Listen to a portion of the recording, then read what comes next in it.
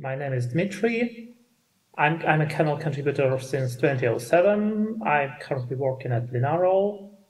I'm uh, commentating one of the uh, drivers in the DRM subsystem. I'm constantly reviewing uh, drivers inside the Qualcomm uh, ecosystem.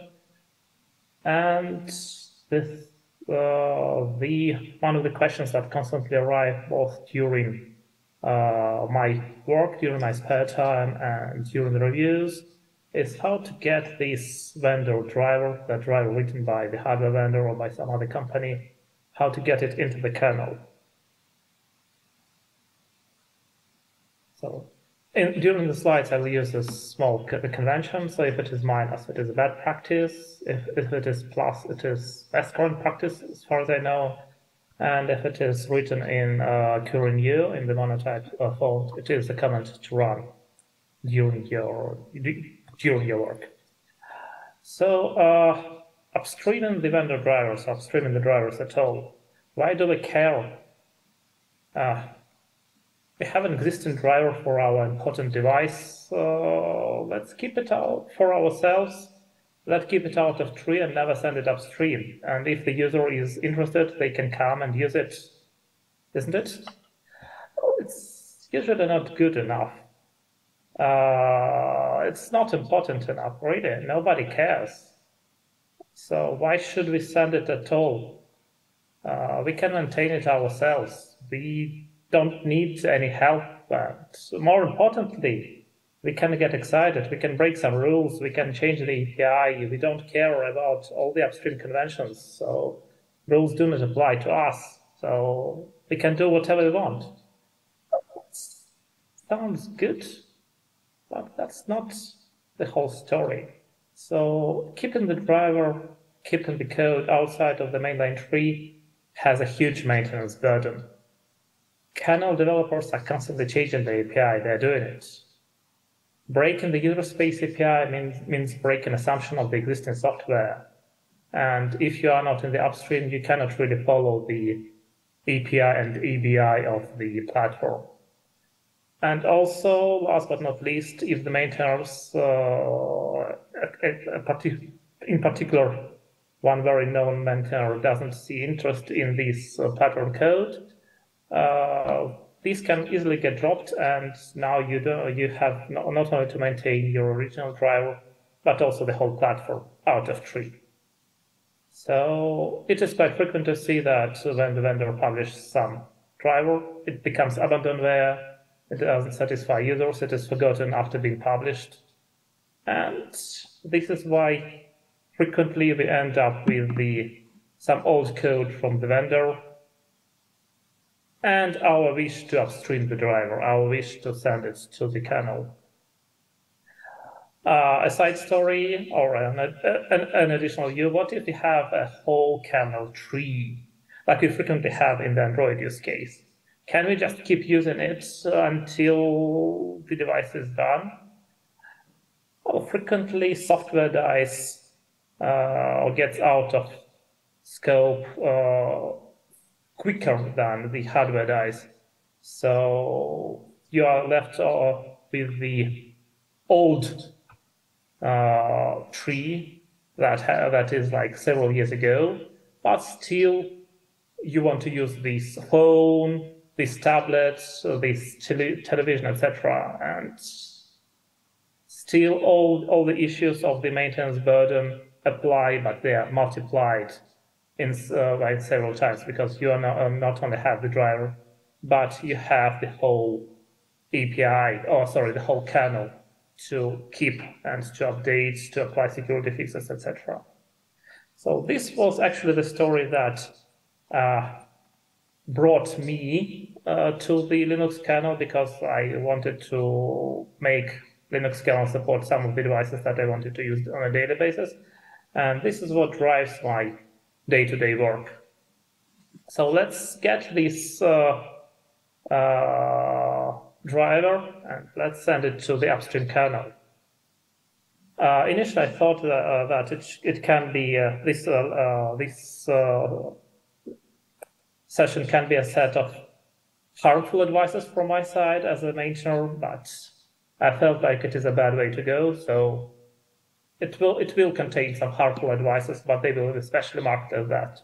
So attempt one, we have our fine a driver written for the important device by the famous vendor. It should be ready. It should be good to go. It has been tested. It has been used on a, a variety of devices. So let's send it as is. It should be accepted. It is good. Oh, not really. The kernel, main, kernel maintenance and the whole kernel story is about maintaining or maintaining code written by others. So the main question is not uh, if the driver is good, but the main question uh, frequently asked by the kernel maintainers is can we really maintain it? Does it follow Linux code style? And that those are the questions that you should ask yourself before sending it.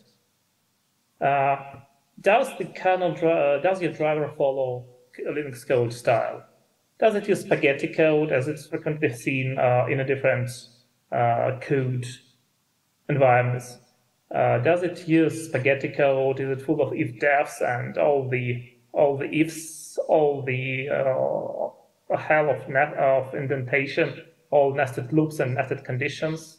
Does it has huge functions that nobody can understand? If it is the case, then you should rewrite it. Uh, follow the coding style, use the check patch, use the uh, use the tools that are provided to you, and take a look around. Look what is what what is expected. Uh, next point, uh, next question: Does it really compile? Well, it surely compiles on your system in your case.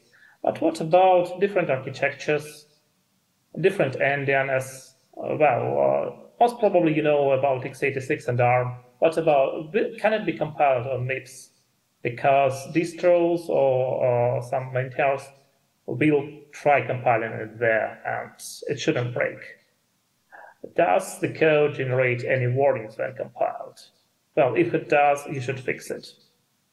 Does your code generate any warnings if you compile with additional warnings enabled?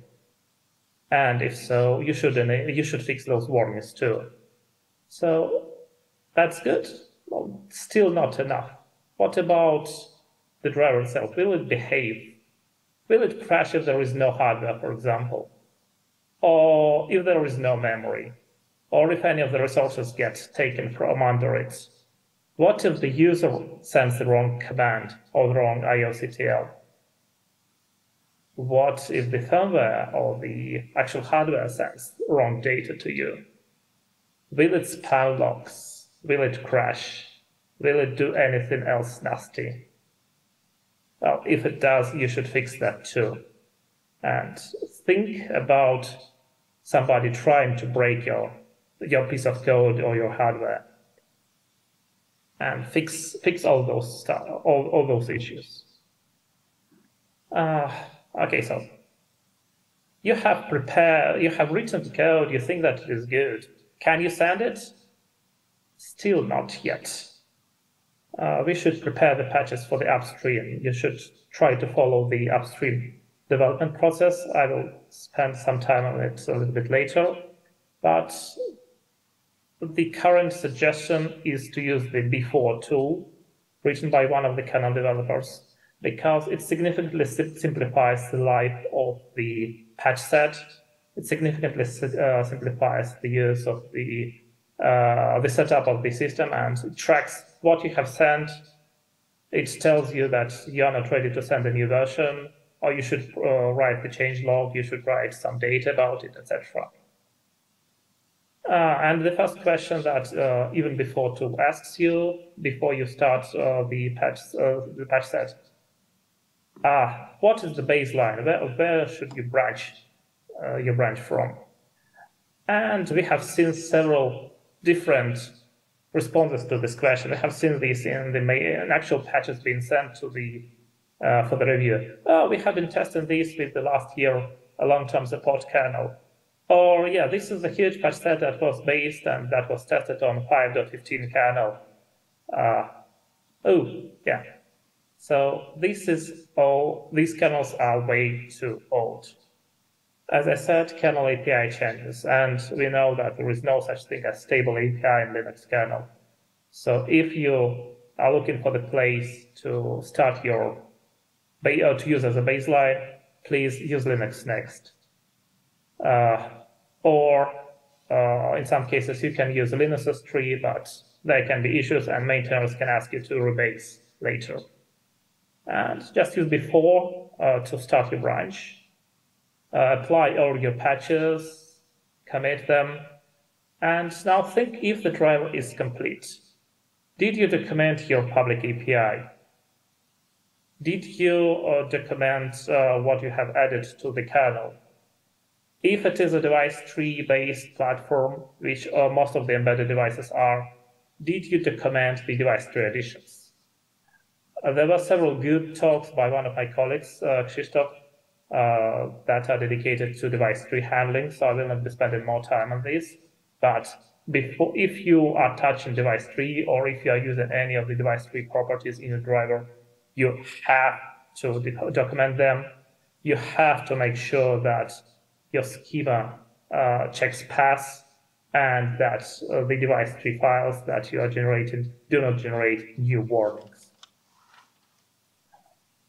Uh, last but not least, you have written, you have compared, you, you have uh, committed everything, you have documented. Now, as it is usual, I said, well, take a step back, take another look around. Uh, does it, does your driver actually fit what is going on in the rest of the system? Take a look at the mailing lists, read what's going on, because it well might be that you're trying to send the, the driver and the first response will be, oh, please wait, because we are going to rewrite this uh, part of the subsystem. Oh, yeah, so check similar drivers, check similar code, and be prepared to rewrite that part. Last but not least, think about splitting your patch set.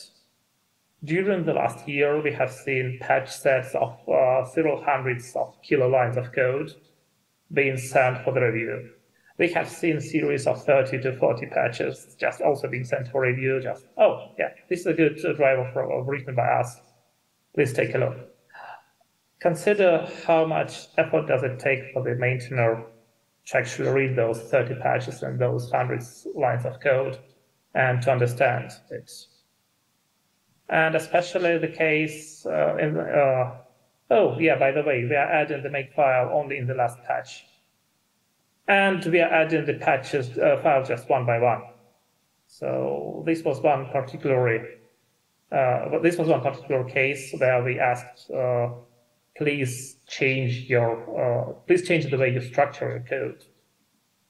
We have seen uh, different cases. So, oh yeah, by the way, this this is the patch which is required to fix uh, changes from another patch.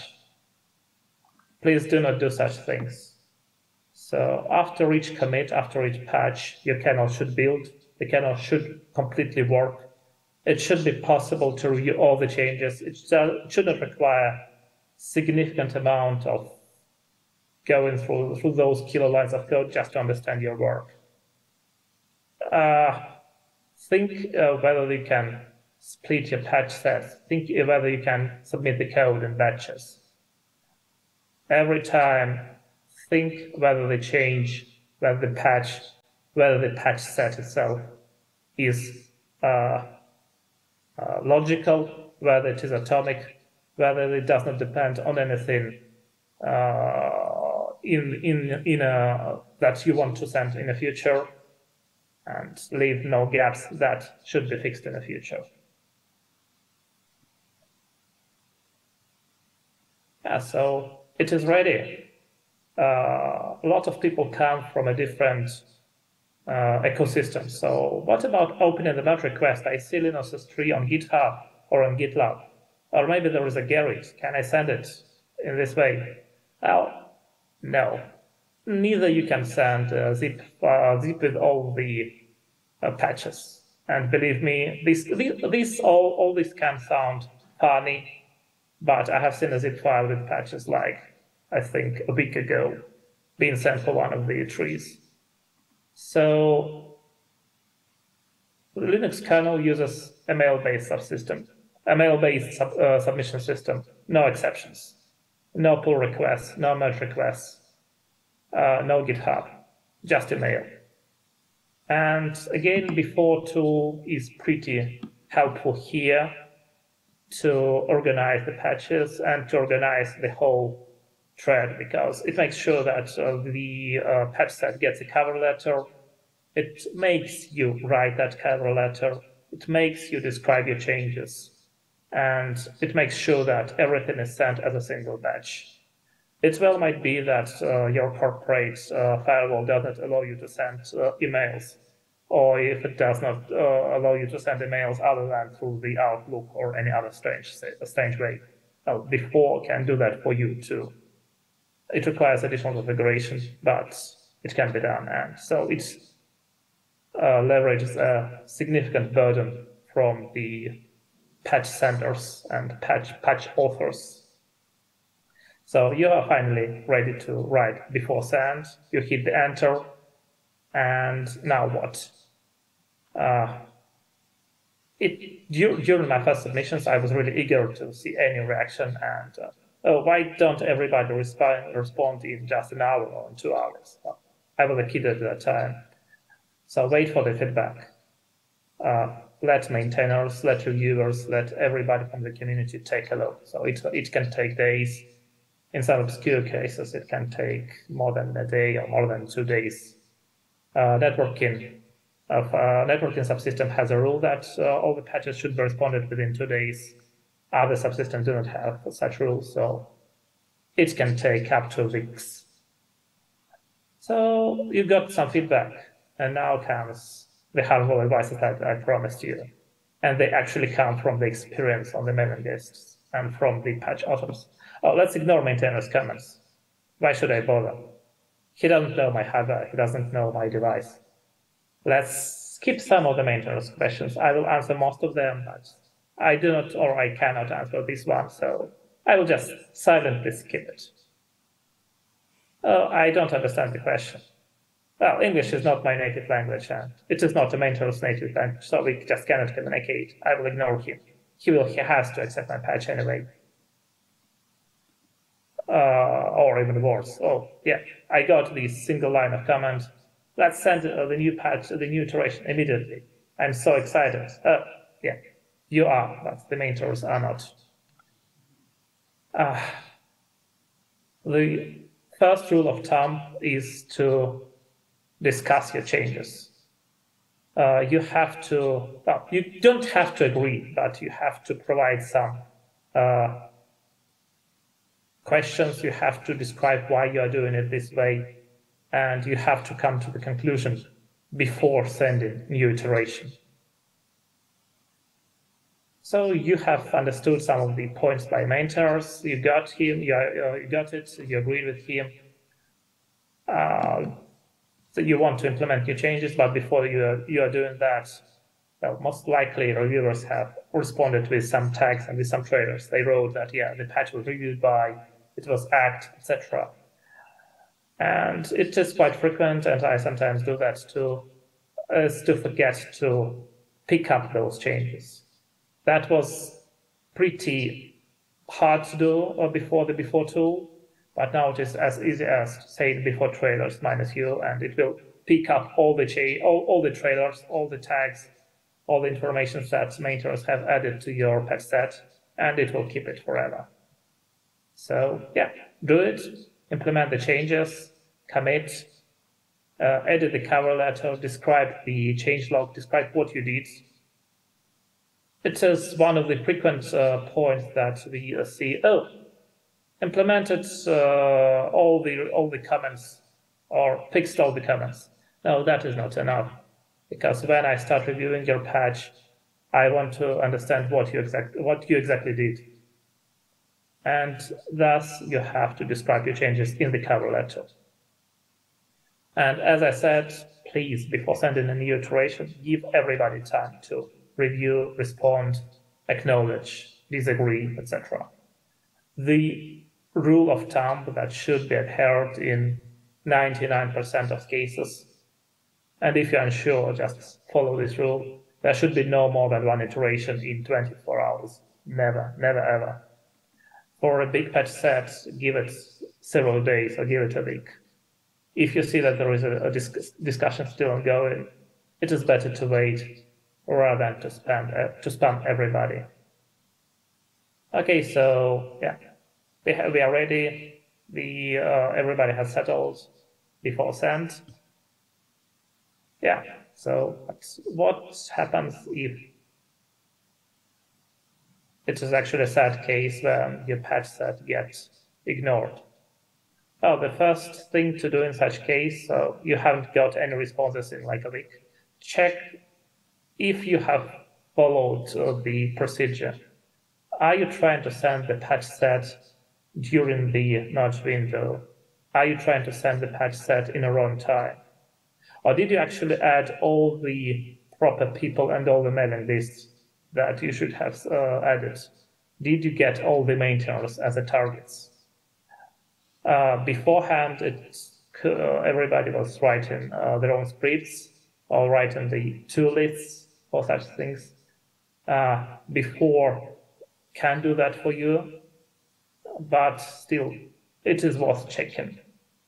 But uh, usually, if for some reason you did not get a response in two weeks, it is fine either to reiterate the series or just to ask on the mailing list. Yeah, ping the maintainer asking, yeah, what's going on, just as a response to your email. Because it well might be that something is on vacation or is busy with the other stuff. So send a, resend the series, ask and be prepared to wait again. And sometimes this can take this can take a while. But hopefully and usually it gets picked and it gets reviewed and you get on the path. Uh, for the patch for the fast patch series especially, it can take some time to get everything done correctly. Please be attentive to your be attentive to the comments. It is an iterative process, both for you and for the maintainer. You should be improving your patch set each time. So don't worry if it is version 10. It is not so frequent, but it happens. Sometimes we see version 20. It shows, it can send different signals, but it's not, oh, if, if, if nobody is telling you to stop at, at version 20. Yeah, you can continue if you're improving your patch set. And in the end, if you don't stop, it will find the way into the kernel. The thing about vendor drivers, and as we are focused in vendor drivers, be prepared to rewrite it. Be prepared for the complete rewrite or re even redesign of the driver, because it is quite frequent that original authors of the driver had their own requirements. They had uh, different uh, kernel versions, etc., and the kernel had improved in those years. So it might take a while. Uh, don't think or don't don't think that uh, it takes some, it takes too long.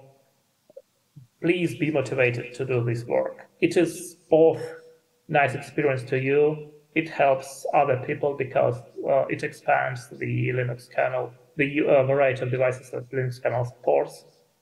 And it also significantly helps maintainers because we can better understand uh, what are the needs for the subsystems, what are the needs, what do you need, or what other drivers and what other devices need from the core subsystems. Uh, last but not least, uh, especially in the commercial or development, we are frequently asked, oh, can you do this or can you upstream this driver by this deadline? And frequent and constant answer is we do not know. So be prepared to lose all the hopes, all the deadlines, all the estimates uh, when you submit the first iteration of the patch. Because uh, sometimes you can estimate, oh, yeah, this is a simple change. This is a single uh, line uh, iteration, so it will be there in two months and three months. If it is more than that, it the process can take a while. So it will be a while when somebody else can actually download the kernel from the distribution or from Linux uh, and use it on his device out of the box. But it uh, it it all pays. It it is all for the benefit of you, of the driver, of hardware support, and of more importantly of other users of the subsystem. And uh, the thing that I do not stop reiterating over and over, and which I keep on telling other people, especially when they're new to the Linux kernel development, uh, it is better to ask a question rather than to show the ignorance. Uh, it can take a while if the main, for the maintainers, for the uh, for other developers to answer your question but it is much worse if you just ignore what is going on and uh, do the thing as you think uh, it should be done. Sometimes you might be right, but in this case, you are most likely you should you will not be most likely listen to this presentation. So, if you don't get the question, if you do not agree with the maintainers, in 80% of the cases, you are not completely correct.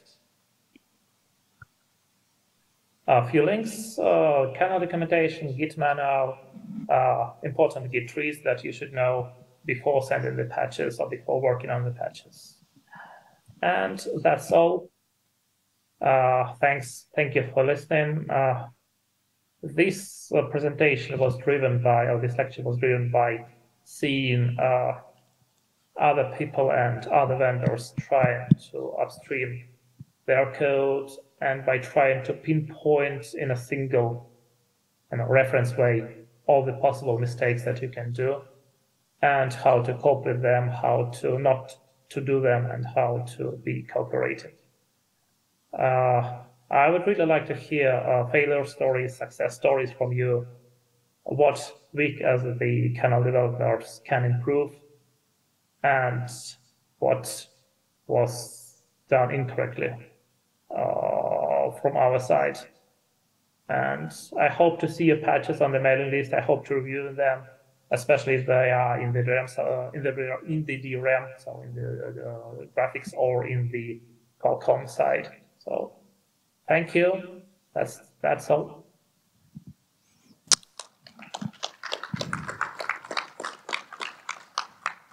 Great. Does anybody have any questions?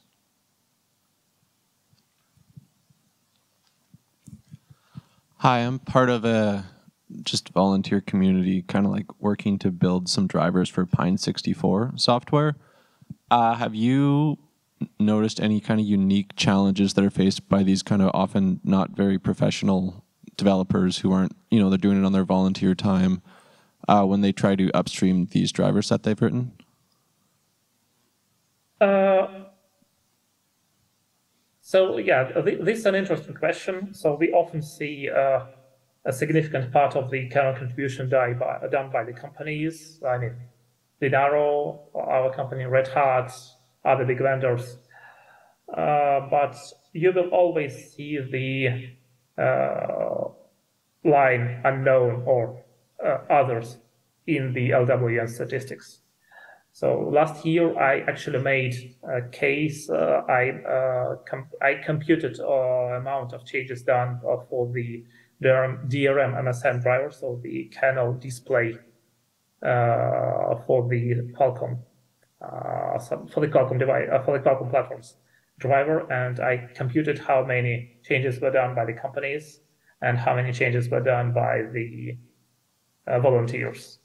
And a third one third of all the changes that actually landed to the kernel were done by the volunteers. So I would not call them, uh, uh, excuse me, so this is a pretty long answer. I would not call them unprofessional or amateurs or anything like that. Anything like that. In, in, in most of the cases, on a significant amount of cases, the patches from the volunteers are of a much better quality because they don't have uh, companies staying behind them and pressuring them. So they uh, the volunteers are tuned to learn. The volunteers are ready to that it will take some time and they work on improving their patches. Uh, for some obscure for all systems, it takes years, and we still see patches going from for the platform that is 10 years ago. So I have seen some of the patches sent for the Pine 64, uh, and I cannot say that they were done in some unprofessional way. So just please keep going. Uh, please work with the corresponding maintainers, with the developers that uh, are in charge of the subsystems, and you can do it. Thanks. If you have any particular question about any particular case, yeah, feel free to ask. But in general, there is nothing wrong and nothing bad. bad sense.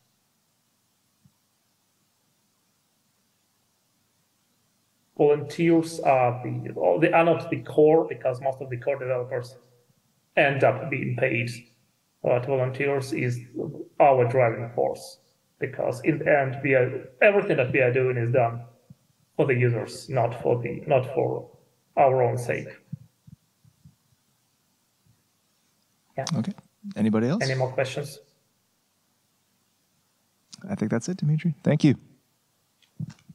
Yeah, thank you. And if you have any further questions, please feel free to use uh, the email to ping me in the spare time.